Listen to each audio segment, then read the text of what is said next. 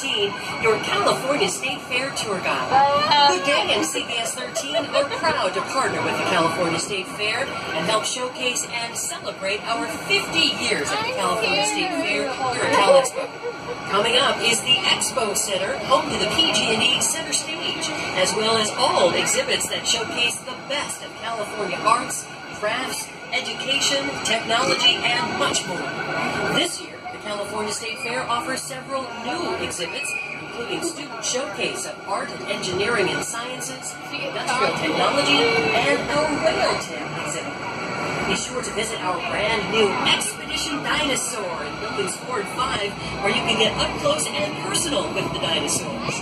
In Building 8 is the California Fine Arts and California Crafts exhibits for those with a taste for creativity.